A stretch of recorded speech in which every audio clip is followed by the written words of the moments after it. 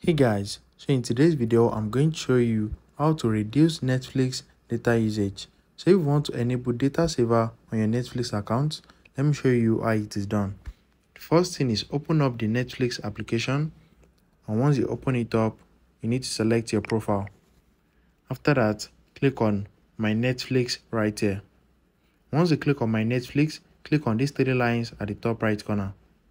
Once you click on it, click on App Settings Right here in app settings, click on mobile data usage. So if your mobile data usage is turned on, it's going to use your data depending on your network speed. So just turn it off. Once you turn off automatic, you are going to see these three options. So you can allow Netflix to use mobile data only when you are on Wi-Fi. And you can also select save data. So this save data reduce the usage, sorry, it reduce the mobile data usage of your Netflix application. So if it is set to maximum data, it's going to be using a lot of your data. So just select save data and this is going to reduce the data usage of the Netflix app.